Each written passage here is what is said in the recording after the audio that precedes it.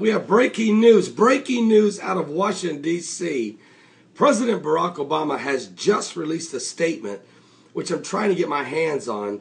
Uh, I just heard it read over the air live by uh, Wolf Blitzer of CNN.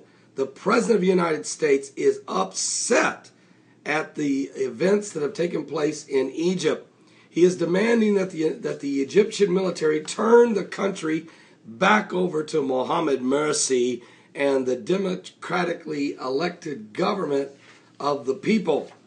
Uh, the arm he has called uh, Chuck Hagel, the defense secretary, and uh, Dempsey, the chief joint chief of staff, into the White House. They just had a meeting, and Obama's reaction to what has happened in Egypt is that he, he believes it is absolutely wrong that uh, that the Egyptian military has went forward with a bloodless coup. We also have some breaking news just now happening that the leader of the Muslim Brotherhood and some of his assistants have been arrested by the military. So they're already arresting the Muslim Brotherhood leaders of Egypt. And of course, so I've had people send me emails saying, Pastor, are you sure that Muhammad Morsi was the fierce king and the cruel Lord? Absolutely. Listen, just because they didn't break your house down or nail you to a tree or didn't cut your head off doesn't mean he didn't. Because uh, exactly what the Bible said he would be, he did. In one short year, folks, he destroyed the five man general council. He, he abolished the Constitution. He broke the peace agreement with Israel. He fired 70 governors and replaced them with 70 Muslim Brotherhood governors who went around in each city rewriting the laws of those small villages and providences and implemented Sharia law. He even locked down three cities and put them under martial law. He allowed uh, honor killings to go on in the streets with no reprisals. He allowed Coptic Christian churches to be burnt to the ground. He allowed Christians to be crucified in the trees of his palace, where they would take Christians and journalists that, that wrote any news articles about him that was um, in opposition of him and would let them nail them to the trees and hang there for six hours and then take them back down. This guy ruled Egypt in one year as a fierce king and a cruel lord. He just didn't get to have a long reign. But what's coming is Obama's reaction. President Obama is standing with the fallen Mohammed Morsi. And here's why. Obama just gave him $1.3 billion and forgive him of $1 billion in debt and sending 20 new F 16 fighter jets and 200 new Abram tanks. And the Army are using those very tanks to surround and build a perimeter around Cairo and are driving through and are arresting the Muslim Brotherhood leaders.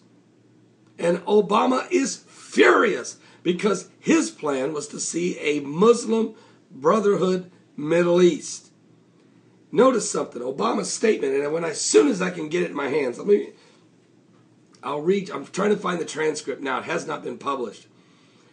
But what Obama's upset about is, and I'm sure that Hillary Clinton's going to be saying the same thing, Huma, uh, everybody involved with the Muslim Brotherhood, Wolf Blitzer, uh, who went over there and spent three days with Muhammad Morsi, John F. Kerry's been there five times. I mean, look, the, everybody's going to say, "Oh no, this is terrible. This General Sisi is is is wrong. He had no business taking over." Listen, Martin, Joint Chief Chairman General Martin Dempsey, Defense Secretary Chuck Hagel, CIA Director John Brennan were all at the White House. You know what they're asking? You know what the president wants to know? Where's the money? Where's the money we sent them? What's going on? How do I go to Africa and come back and I lose Egypt? You know, by the way, you're having a bad day, Mr. President, because you ordered the Bolivian plane to land. You forced the president of Bolivia's plane to land and to illegally search and seizure a president of another country in Austria. You shut down the airspace of Europe. You ordered your allies. And when they got in the guy's plane, there was no Edward Snowden. What? I thought you said you weren't going to scramble planes for a 29 year old hacker. Well, once again, he's eluded you. But once again, you're considered now the now it's been released that the Edward Snowden uncovered in the NSA there was a, pl- a plot to assassinate the Bolivian prime uh, Bolivian president Morales. I don't know whose plan it was. I'm not saying it was the president's, obviously, but I think it was. I mean, there's something where there's smoke, there's fire. Now the president of the United States is very upset. The armed forces have ousted Egypt's first democratically elected president after just a year in power, installing a temporary civilian government, suspending the constitution, calling for new elections. The Islamist President Mohammed Morsi denounced it as a full coup by the military. After the televised announcement by the army chief, millions of anti Morsi protesters in the cities around the country erupted in delirious scenes of joy. Shouts of God is great and long live Egypt. Fireworks burst over the crowds, dancing, waving flags in Cairo's Tahrir Square, the epicenter of the 2011 uprising that ousted Hosni Mubarak. Now, let me just say something. Obama's saying that it's it, that he cannot stand with this new government because he said that he believes that that government that the, the democracy should have its way, and that that there needs to be uh, democratic elected governments. And I agree that you need to have democratic elected governments. You don't want a bunch of dictators running around anywhere. But, Mr. President, when President Gbagbo was being removed from Tunisia, you stood with the rioting of the people.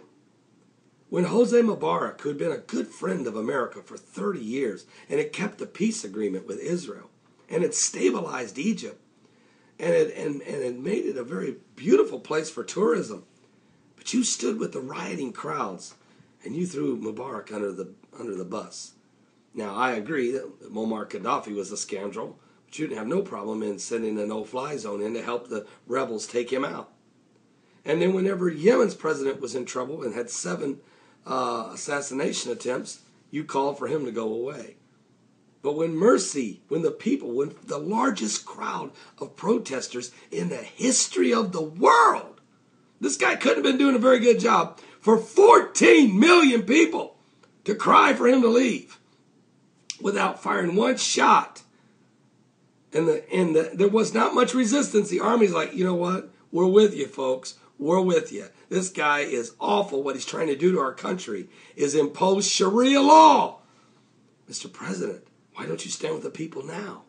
Oh, it's because it's not your guy your guy was all of these leaders that's been put in position because you're standing with the Muslim Brotherhood. I'm just calling it exactly the way it is. Now, according to Bible prophecy, let me just say this.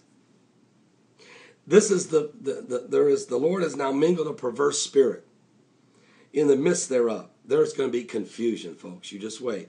And they have caused Egypt to err in every work thereof, as a drunken man staggereth in its own vomit. There's going to be uh, absolute chaos ensuing out of this because America is going to withhold all funds. And that's going to literally throw the Egyptian economy into the tank. Neither shall there be any work for Egypt, which the head or tail, branch or rush may do.